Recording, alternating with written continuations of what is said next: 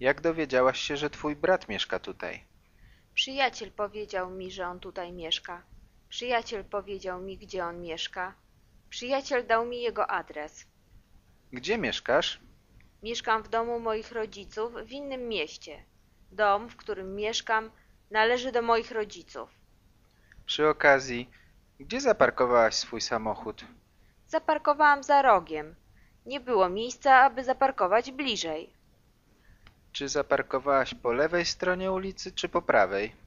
Zaparkowałam po lewej stronie, dokładnie naprzeciwko szkoły. Czy zaparkowałaś obok dużej ciężarówki? Tak, dlaczego? Nie możesz parkować tutaj. Miasto reperuje tam drogę. Pójdę i przestawię mój samochód. Poczekaj na mnie, proszę, mam jeszcze kilka pytań.